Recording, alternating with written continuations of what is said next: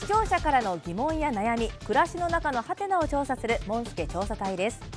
今回のテーマはこちらです。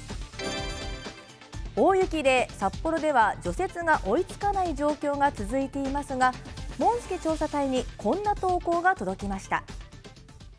四輪駆動でも埋まりそうなくらいに雪がザクザクな道があります。除雪がひどくまともにすれ違えません。投稿が寄せられた場所は札幌市中央区の住宅街を走る生活道路です。道の至る所が大きくへこみ車が通るのも大変です。環状通りから一本西側の通りになるんですけれども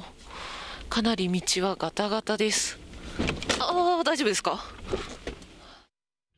別の日の映像では雪が溶けてザクザク路面に。今年はあの大雪が降ってかつ気温が高い日が続いたのであの1月の今時期にいろんなところであのザクザクになっています。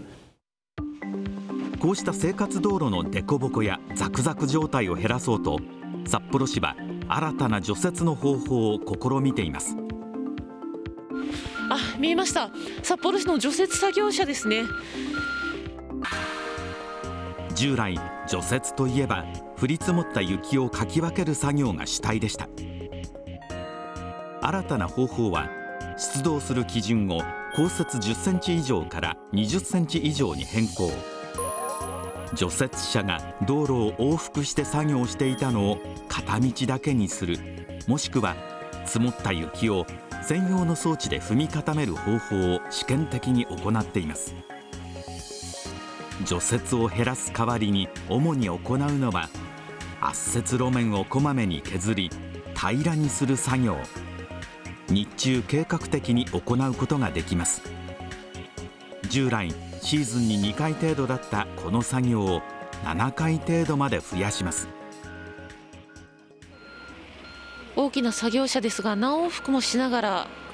非常に細やかに雪を避けていきます。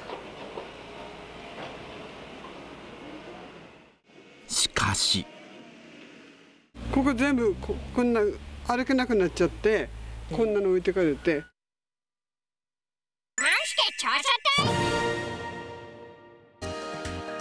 札幌市が試験的に始めている新たな除雪方法。除雪の回数を減らす代わりに計画的に圧雪路面を削って平らにします道路を鳴らす作業が終わりました。路面はだいぶ平らになりまして車も通りやすそうです。ただ住宅脇には少し雪が残ってしまい皆さん雪かきをしています。ここもこんなの置いてかれてこの硬いのはもうどうしようもないのよね。これじゃ通れないでしょ？年寄りには。これをのけなきゃいけないから大変。ちょっとここね。ちょっと見てもらいます？ここね通れなくなっちゃったから。ちょっとここの行きだけこう、うん、子供が通る道だから。札幌市は削った雪について住宅の玄関や車庫の前は極力避け歩道に寄せることがあると市民に理解を求めていますが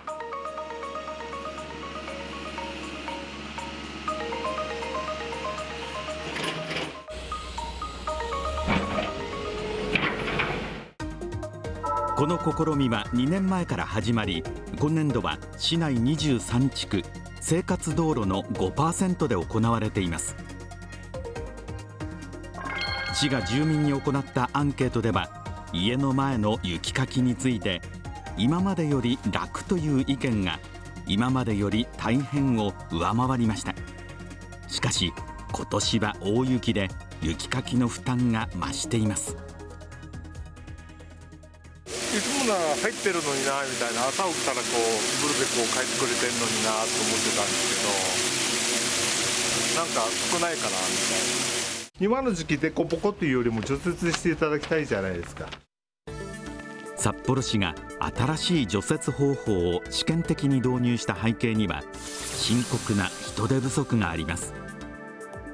除雪は夜に行われ時間も不規則で天候に左右されるため作業員の負担が大きくなります。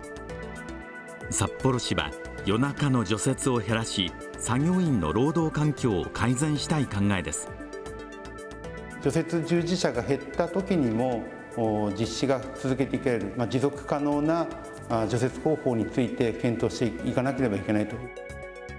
市は今後3年程度かけてこの新しい除雪方法を検証していくということですこの新たな除雪方法は幹線道路では行われておらず札幌市内の生活道路の5%で試験的に行われています。そして先ほど秋元市長が今回の大雪との関係について臨時会見で次のように話しました。今回の大雪の影響とこの除排雪方法の今試行試しとですね全く関係がないと。除雪の方法の変更とほとんど検証できませんのでこれはしばらくまだ通年でですね何年かで検証していかなければいけないというふうに思います。まあ、そういう意味で地域の方のご意見を伺いながら、これは進めていくということに、あの拡大するかしないかということは進めていくということになりますが。はい、市長はこう述べていますが、新たな除雪方法を行う背景には人手不足があります。今札幌市で除雪作業をしている人は50代以上が多く将来的に人数が減っていくことが懸念されています。札幌市の推計では除雪車の操作ができるオペレーターは2017年からの20年間で4割程度減るということです。こういう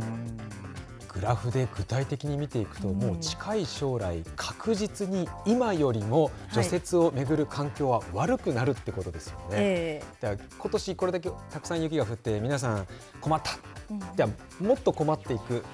未来が待ってるわけですよね。はいこうなっていくともう具体的に解決する。なんかもう例えばだけども除雪作業員を募集するのもなかなか集まらないんだったらじゃあ待遇面も含めてどうするのとか、はい、じゃあそういう人たちが来てくれなくてもじゃあ我々は快適に200万都市で生活するには